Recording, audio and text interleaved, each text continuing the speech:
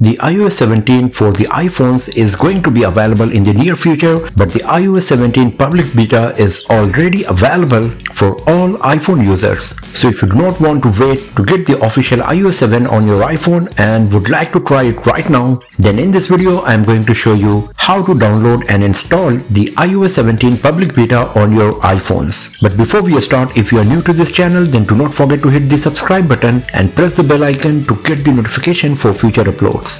So right now if you go to the settings of your iPhone then to general section and then to the software update then you can see that your device should be running on iOS 16.6 or a lower version.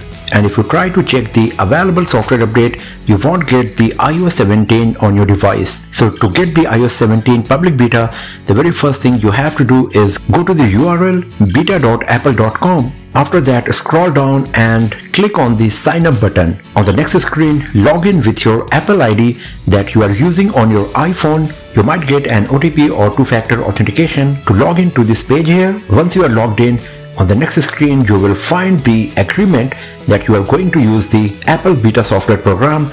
Just scroll down to the bottom and click on agree button. Then on the next screen, it will show the different beta softwares that are available for iOS, iPadOS, macOS, etc. Just go to the iOS tab and scroll down, go to the bottom to the get started section and here you will find a link that says enroll your iOS device. So just click on this link and then you are good to go. On the next screen, you will get some suggestion from Apple that you better get a backup of your device before installing the iOS 17 public beta on your iPhone as it is advisable for any software update. Now all the steps are done and we are good to go to install the iOS 17 on our iPhone. So now once again go to the settings of your iPhone, go to the general section, tap on software update and you can see now there is a new section included that says beta updates. By default it is turned off just tap on it and then you will get the option to select the public beta.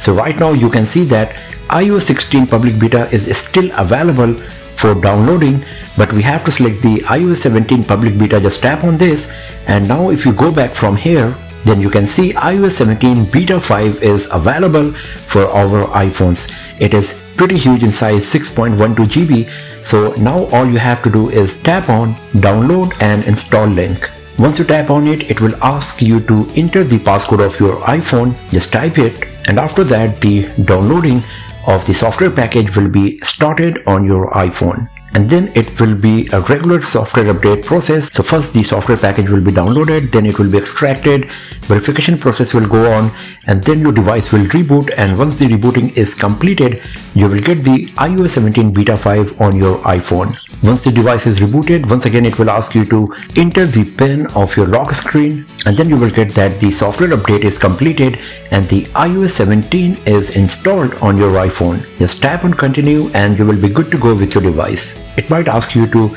share some of the analytics with Apple. If you want, you can approve it or deny it. And if you go to the settings one more time and then go to the general section and then about you can see your device is updated to the iOS 17. So this is how you can get the iOS 17 public beta on your iPhone before the official launch. So that's all for now friends. Thanks for watching this video. If you found it useful then give it a thumbs up, share it with your friends, subscribe the channel and do not forget to press the bell icon to get the notification for future uploads and I will see you guys next time in an another video. Have a nice day.